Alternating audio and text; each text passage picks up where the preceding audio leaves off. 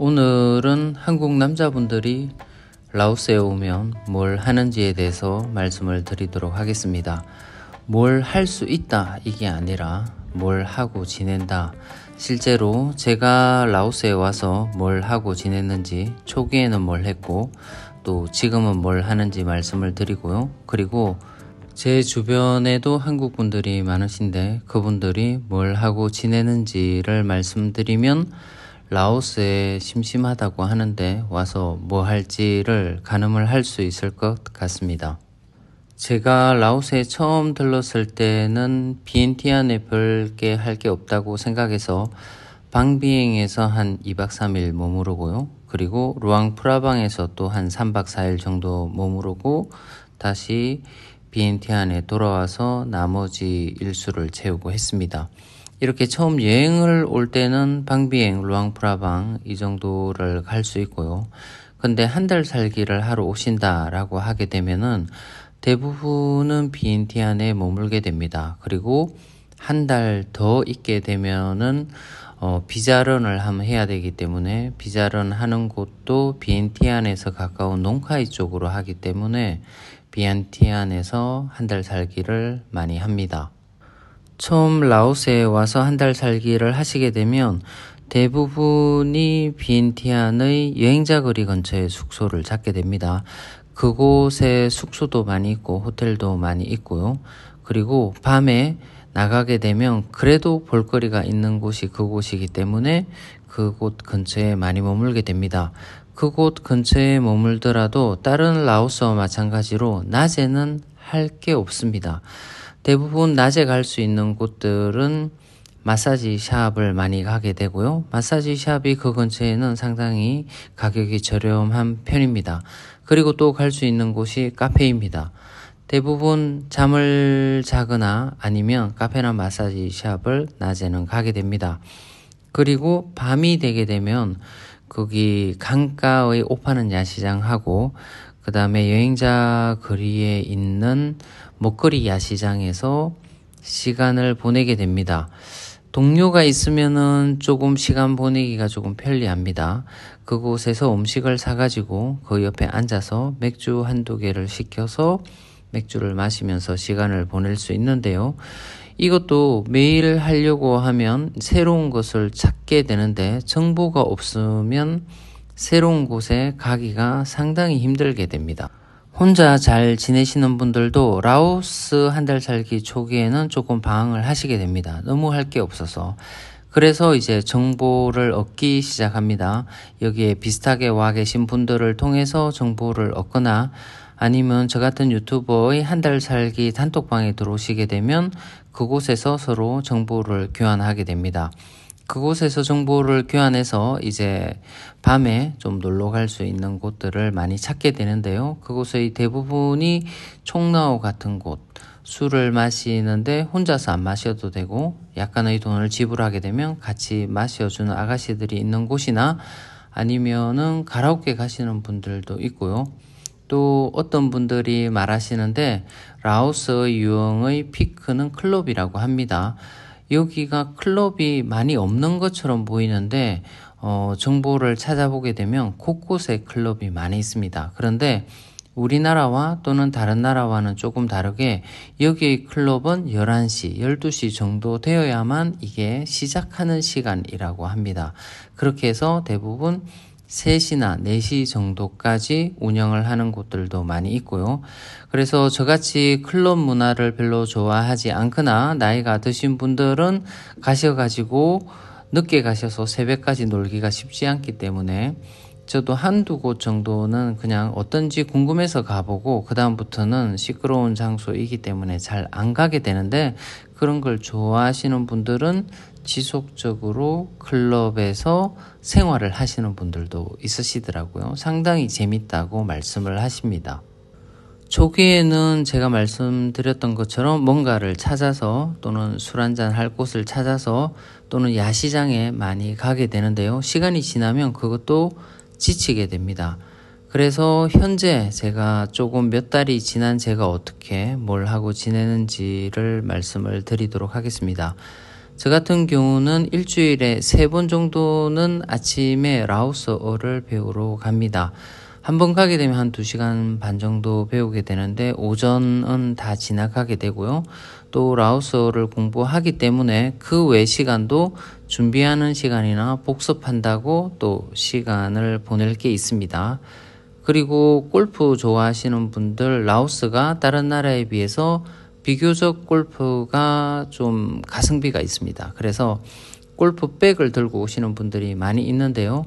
일주일에 한 두 번에서 네 번 정도 골프를 치러 가시게 되면 골프 치러 가는 시간도 시간이지만 또 연습장도 한두 번 가시게 되면 거의 매일 골프와 관련된 활동들을 하게 됩니다. 그러면 그것으로도 시간이 상당히 잘 가는 것 같습니다. 저 같은 경우는 학원을 다니기 때문에 한 번이나 두 번 정도 가는데요. 골프 연습장 같은 경우는 한 세 번 정도 가게 되고요. 그렇게 하게 되면 또 다른 시간들이 채워지게 됩니다.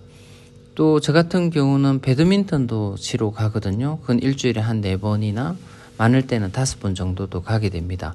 그러면 이제 운동하는 시간 자체는 한번 가게 되면 두 시간이나 세 시간을 하게 되지만 어, 갔다 와서 좀 피곤하기 때문에 낮잠을 자거나 휴식을 취하고 하게 되면은 저는 앞에서 한 활동들과 또 유튜브도 가끔씩 촬영을 하고 편집을 하게 되면 일주일의 시간이 금방 지나가게 됩니다. 제가 마사지를 좋아하는데 사실 마사지 받으러 가는 시간이 잘 없어서 일주일에 한두 번 정도밖에 요즘은 마사지를 못 받고 있습니다. 여기 라오스 오셔가지고 아무것도 안 하고 지내고 그냥 시간을 보내시게 되면은 낮에 할 일이 없어서 이제 실제로 활동을 전혀 안 하시는 분들은 마사지 샵을 하루에 한 번 또는 두 번 또는 심하게는 한 세 번 정도도 가시는 분들이 있습니다. 다른 활동들이 할 게 없었어요. 그렇게 하다 보면은 어, 사실 뭔가를 하는 것보다 비용이 더 많이 들 때가 있습니다.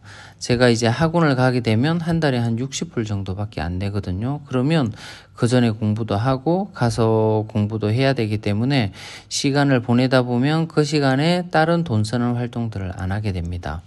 골프도 여기서 골프를 치고 연습장 가게 되면 골프 비용도 다른 나라에 비해서 싸고요. 연습장의 비용은 정말 말도 안 되게 쌉니다. 제가 하는 활동 중에서 골프 연습장의 비용이 가장 싼 것 같습니다. 그래서 이런 몇 가지 활동을 하게 되면은 오히려 돈을 적게 쓰는 이상한 현상들이 일어나게 됩니다. 또 저와 같은 운동을 하지 않으시고 헬스장을 끊어서 가시는 분들도 장기적으로 헬스장을 끊게 되면은 수영장이 있는 헬스장도 크게 비싸지는 않더라고요. 한달 한 달 결제를 하게 되면 좋은 곳은 여기도 10만 원이 넘어가는 헬스장들도 많이 있습니다. 어쨌든 그걸 한 달로 나누게 되면 큰 돈이 아니기 때문에 그런 활동들을 하시게 되면은 오히려 어, 한 달 살기 하시면서 돈을 조금 적게 쓰는 경향이 있습니다.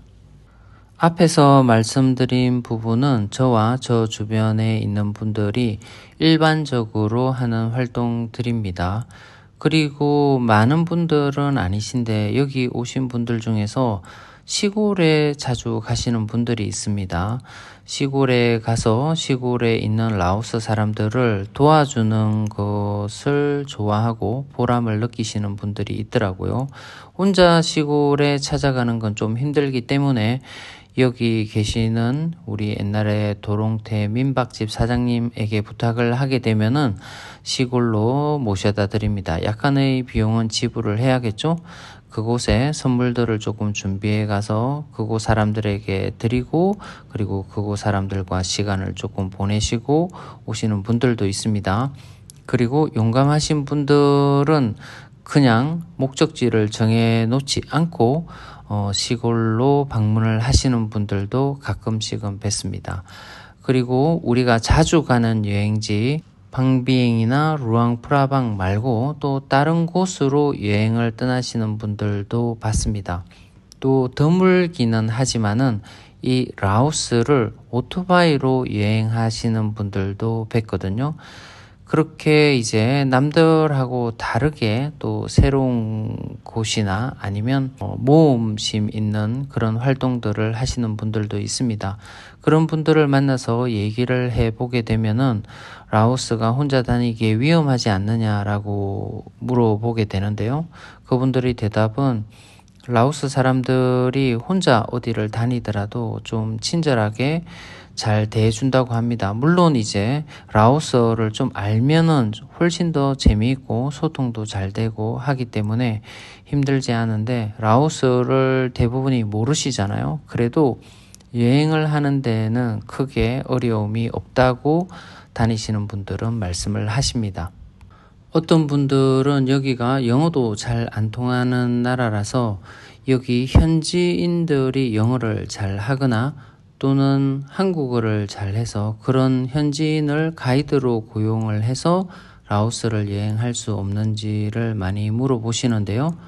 제 경험상으로는 라오스에서 한국어를 할 줄 아는 가이드를 구하기가 쉽지가 않습니다. 또 영어를 잘하는 가이드를 구하기도 쉽지가 않고요. 또 구했다라고 하더라도 다른 나라에 비해서 여기가 소득이 낮은 나라라서 그 가이드 비용이 낮을 거라고 예상을 하시는데 그렇지 않습니다. 찾기도 어렵고요. 찾았다고 하더라도 그 비용이 주변국에 비해서 훨씬 더 비쌀 때가 많이 있습니다. 그래서 어떤 분은 좀 가이드를 찾아달라고 저한테도 부탁하시는데 저도 연락처를 알고 있는 친구들이 한 두 명 정도 있는데요. 그런데 연락을 주기적으로 하고 그런 부탁을 하는 분들이 있으니까 가이드를 하겠느냐라고 이렇게 여러 번 연락을 했었는데 잘 되지 않습니다. 이상하게 여기에는 한 번도 보지 못한 사람을 처음 보기가 쉽지가 않습니다. 또 일에 관련된 부분이고 그 친구들이 그 가이드들이 요구하는 금액을 줄 수 있다라고 하더라도 이때까지 제가 한 번도 만나보지는 못했습니다. 다른 사람에게 소개를 받았는데요.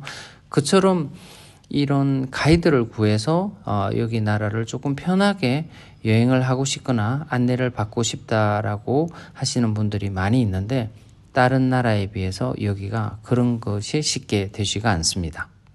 또 몇몇 분들은 뚜렷한 목적 의식을 가지고 라오스에 오시는 분들이 계십니다.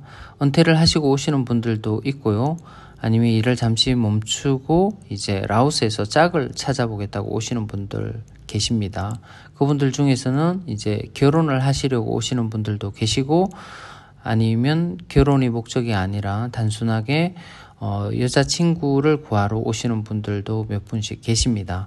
그런데 그런 분들이 주의해야 될 사항이 라오스에는 있습니다. 라오스에는 어, 법적으로는 외국인과 라오스 여성이 동거는 불법으로 되어 있습니다.